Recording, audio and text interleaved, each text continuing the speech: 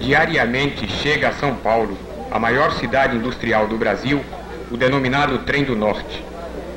Ele traz algumas centenas de imigrantes que vêm em busca de trabalho.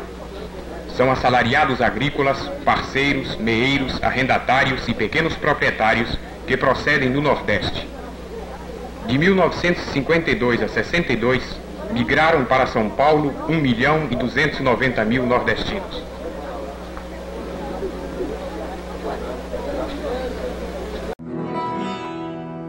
Na valente terra nordestina. Você trabalhava onde lá? Na usina Santa Terezinha. Era trabalho de quê?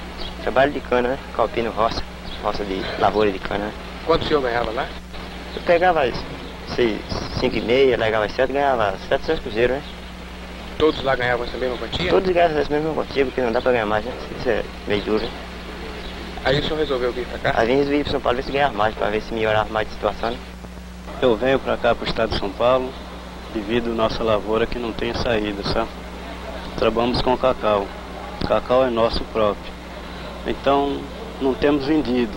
Colhemos o cacau, ele deu muito esse ano. Foi um ano que até produziu mais. Mas não temos vendido. Colhendo e depositando, sabe? É onde que meu pai mandou sair. Para vir aqui para o estado de São Paulo para ver se ganha um dinheiro.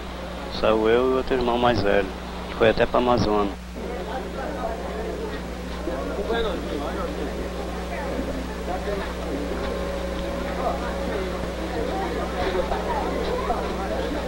Do total dos nordestinos que chegam a São Paulo, 80% são analfabetos. Eu vim por causa que eu não, não, não, não dava jeito de ficar lá trabalhando na roça. É, o senhor, seu pai é que trabalha na roça? Meu pai trabalha na roça. E como é o trabalho lá?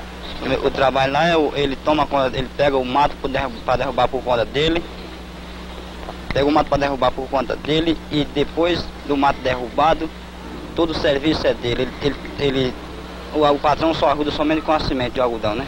Ele planta o algodão, planta o milho e o feijão para ele. Pra, pra- e, o, e o algodão fica de meia, né? Todo ano ele desfruta o algodão, roça o algodão por conta dele, o patrão não ajuda mais com nada.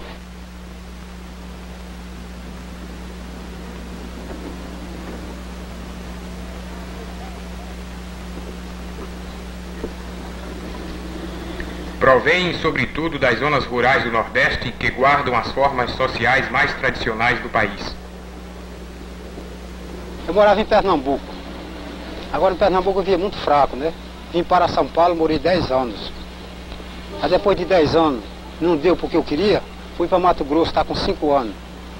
Mas depois de 5 anos, fui a Pernambuco, a casa de visitar minha família. Mas cheguei lá, resolvi tocar uma rocinha, e a rocinha não deu. Deu sim, que choveu muito. Mas a chuva deu e a chuva mesmo comeu, né? Agora eu não fiquei lá, não só foi só por causa da chuva. Ah, Foi porque eu não pude conseguir comprar um pedacinho de terra para eu morar e trabalhar, né? mas como está a terra lá? A 20 conta a tarefa. 20, a tarefa são 25 braços em quadro. Então não deu para o senhor comprar terra. Não deu para eu comprar terra. Agora Se desse para comprar terra lá, o senhor ficava? ficava lá.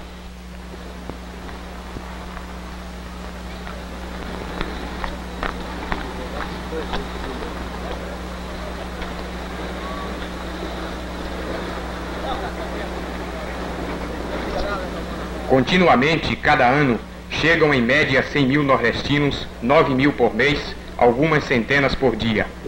Em média, 70% deles se dirigem para o interior e constituem a mão de obra de uma agricultura de mercado.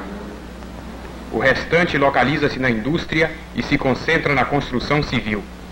São estes que, partindo das zonas agrárias mais atrasadas do país, põem-se em contato com as formas sociais e urbanas mais avançadas e racionais do Brasil.